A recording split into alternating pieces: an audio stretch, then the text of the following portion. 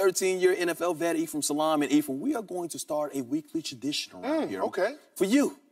For you, yeah. Mama, I made it. So, what do NFL players think when they hear that Roger Goodell wants $49.5 million per year? Like they used to keep his salary secret, right? For reasons like this. When you hear someone asking uh, for literally 50 million, let's just call it 50 million. I mean, 49 and a half. We'll, just, we'll, we'll- we'll just call it 50 million dollars. Uh, then you start to look and you're like, wow, the audacity to ask ask for lifetime health insurance for his family and himself. And NFL players don't even have that. Really? That's that's Really? that's the kicker for me, me because I played 13 years in the NFL. My body will never be the same. Every day I wake up in pain, but it's not about that. It's about having resources to take care of yourself and your family. That's enough. That's I'm a bunch saying. of bull stat, okay? First of all, that hit was a cheap shot. That was not a cheap shot. The hit on No. Nick Foles had no bearing on the outcome of the play. The play was actually almost over. Ball carrier down. He hits him after the ball carrier was down.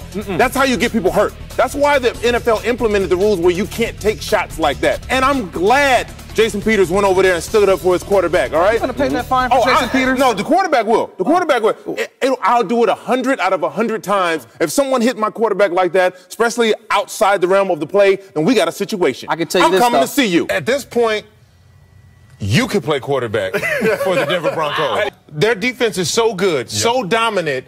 If we look in, and and see what Peyton Manning w- was unable to do last year, turning the ball over, 17 Same. interceptions in, in 10 games, like they don't need Mark hmm. Sanchez to go out there and, and, and be an offensive juggernaut. Many of them have family members, and many of them who, who themselves have served in the military. And then you can't have it the other way and, and, and want them to come to the to the White House. If you're not being presidential, then we can't respect the office of president because you're the president. Racism is in the NFL. It's rampant. The last I checked, they're not shooting black people on the field. All right, Right. so let's not get it. Let's He not get it misconstrued. ra- I said- understand what No, you're no, no, no, saying, no. But the fact of the matter is, shooting. these are young, these are young black lives and young minority lives being shot down by people of authority, people we A pay to protect but us. You you really want to compare that to having a black owner or a black coach? We're talking No, about a, I lo- wanna- a loss of life. You are a Muslim. If you had a teammate who voted for Trump, would you take it personally? Well, no, because I know how to separate uh, the workplace from a, a personal ideal. Each person is their own individual. As long as what you do off the field doesn't affect us on the field, uh, look, I have I have no problem with it. And I'm a little bit older as well. I'm 40 years old, so a, lot of the, the younger uh, kids and millennials who are playing these sports, they're very outspoken and, and, and, and very headstrong in their beliefs. So it may be a little bit more difficult for them to uh, adjust to that and be able to look past that. Right That's here, enough. okay? He's I'm still gonna great. say this is a real stat because the numbers are what the numbers are. He looked very uncomfortable in the pocket. There's no protection up front from the offensive line. They have no real weapons outside. Gronkowski and Julian Edelman What cannot quarterback do can it play on like that? Look, all I'm saying is the way this man is looking right now, it's real more. How much harder is it for that player to buy into a unifying message from the coach?